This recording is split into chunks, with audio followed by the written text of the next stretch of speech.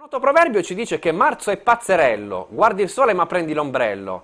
Ebbene, sarà proprio questa la caratteristica principale del prossimo weekend, che vedrà ancora l'Italia esposta a correnti umide dei quadranti occidentali di estrazione oceanica, che piloteranno nuove perturbazioni in marcia verso il nostro paese. Il primo fronte lo vediamo centrato proprio in queste ore sulla penisola iberica, ebbene sarà proprio questa perturbazione che nel corso di venerdì attraverserà buona parte d'Italia. La grafica successiva evidenzia come questo primo fronte attraverserà lo stivale da nord verso sud, distribuendo acquazzoni sparse anche qualche temporale in marcia da ovest verso est.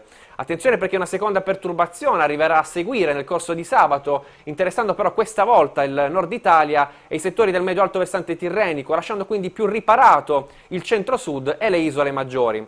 Questa perturbazione sarà però seguita nel corso di domenica ancora da aria umida instabile in arrivo dall'Atlantico, che rinnoverà della variabilità al nord-est sulle aree interne del centro-sud, nonché anche quelle delle isole maggiori, con acquazioni sparse ancora e qualche temporale, soprattutto ad evoluzione diurna, quindi più frequenti nelle ore pomeridiane. Maggiore schiarimento chiarita invece sul resto d'Italia.